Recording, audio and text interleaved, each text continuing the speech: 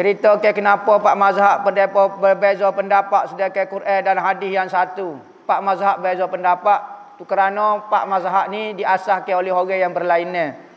Maka masing-masing ada keedah dalam nak menentu ke hadis ni sahih ke hadis ni dhaif ke. Imam Syafi'i, Imam dia? Oh, mengaji Mekah. Imam Hanafi duduk di Kufah, duduk Iraq. Oh, Imam Malik duduk di Madinah.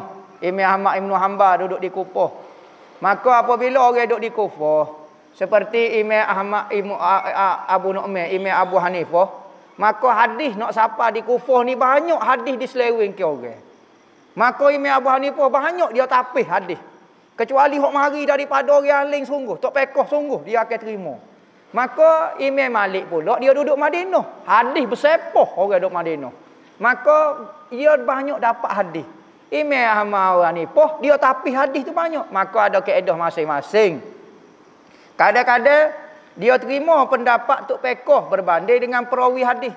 Kalau perawi ni hadis, oh perawi ni orang apa hadis saja. Oh saya tak terima. Oh orang perawi hadis ni orang alim, ha baru saya terima. Maka dia ada keedah masing-masing sebab itulah berlainan dari sudut nas dia pun berlainan. Al-Quran sama, hadis sama tapi hok ni tak kata bagi amo tak sahih. Hok ni kata tak sahih. Pas kita nak kata lagu mana? Oh benda yang sama saja. Keempat-empat mazhab ini masuk dalam kategori ahlu sunnah wal jamaah. Diterima oleh ulama dunia berjuta manusia itiraf pak mazhab ni betul dan diamalkan sampai sekarang. Nah. tu. Kita lah ni duk ngajar dia. Ada orang mari tanya untuk guru ajilah lu buat apa?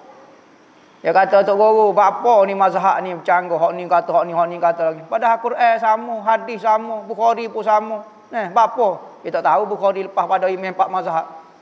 Kawan tu hak mengajar tu dia profesor. Lecturer lah. Pensyarah di So University. Maka katanya Tok Guru Ajilah lu buat apa demo ni? Demo cikgu kau. Dia panggil cikgu lah. Pensyarah ni panggil cikgu ya. Maka Tok Guru Ajilah maknanya cikgu ni ngajar orang ni. Oh, dia kata saya ada lah. Dalam kuliah tu ada berapa orang? Oh, so kuliah dewan kuliah saya ngajar dia profesor juga ada 400 orang misalnya. Oh, dia mau ngajar supo. Oh, hang ngajar gitu seorang. Supo dok fahami anak murid demo. Dalam 400 orang. Oh, lain-lain. Oh ni faham lagu ni, oh ni faham lagu ni, oh ni faham. Oh tu 400 orang nyo faham lagu lain. Begitu jugalah. Al-Quran yang sama, sumber yang sama tapi faham yang berlainan. Eh, tak jadi kau masalah. Tak sudah pelik lah.